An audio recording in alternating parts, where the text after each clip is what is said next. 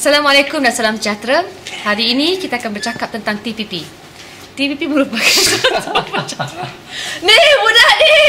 Tolong! Amerika Syarikat!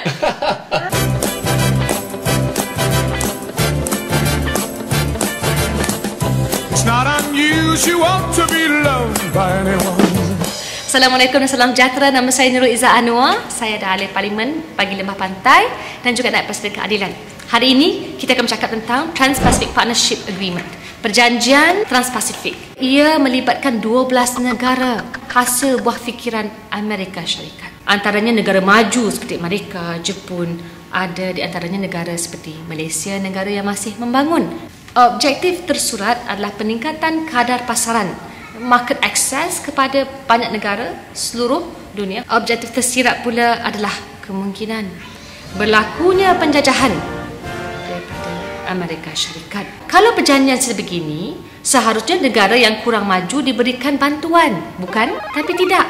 Perjanjiannya menggunakan template. Template ni perjanjian yang menggunakan template Amerika Syarikat.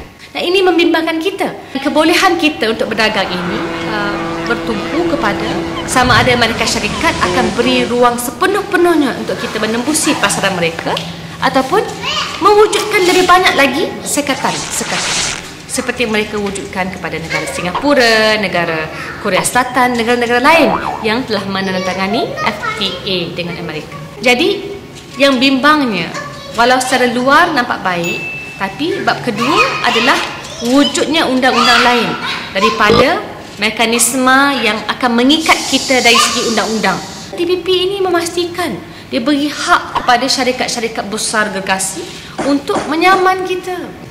Jadi kita uh, dalam keadilan dan juga pakatan rakyat bimbang kerana impak dalam TPP ini ke atas industri kecil-kecilan, syarikat-syarikat tempatan memang akan sangat negatif. Jadi kita mahukan syarikat-syarikat tempatan mampu bersaing dengan syarikat luar. Tapi tentunya sebagai negara membangun, mestilah kita perlukan lebih banyak bantuan. Tak ada bukan ya untuk memberi syarat yang sama kepada negara yang sudah maju, berindustri dengan syarat negara-negara yang membangun. World Trade Agreement pun tak bersetuju dengan konsep sebegitu.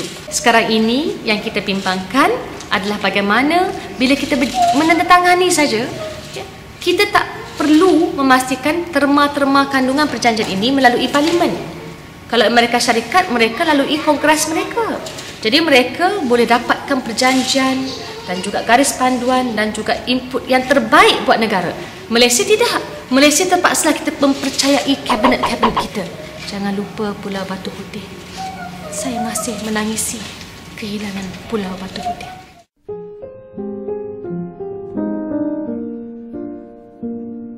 Jadi, akhirnya yang kita perlukan kali ini dalam TPPA adalah rakyat harus sedar, rakyat harus bangun, rakyat harus katakan kepada kabinet tidak kepada TPPA Kenapa? Kita tak mahu disaman oleh syarikat gergasi. Tidak kepada TPA. Kenapa? Kerana Malaysia mampu membina daya saing kita dengan sendiri. Tak perlu ikut telunjuk, tak perlu ditekan oleh mana-mana negara, khusus negara maju. Kita juga tidak mahu harga-harga ubatan kita mungkin melonjak tinggi. Kenapa? Kerana ubat-ubat di Amerika Syarikat itu dipaten.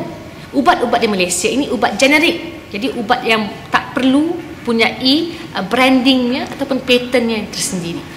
Jadi kalau datang ubat dari mereka syarikat, maka harga ubatan akan melonjak tinggi warga-warga biasa. Bagaimana mampu mereka membayar sekiranya harga ubat itu naik sampai enam kali ganda daripada harga asal? Bagi tahu kepada saya.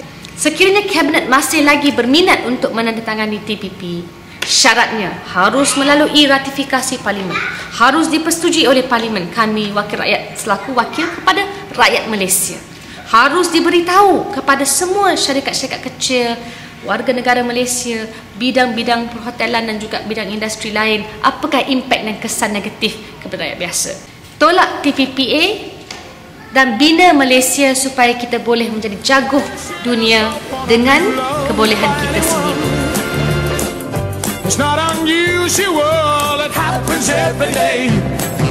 No matter what you say You'll find it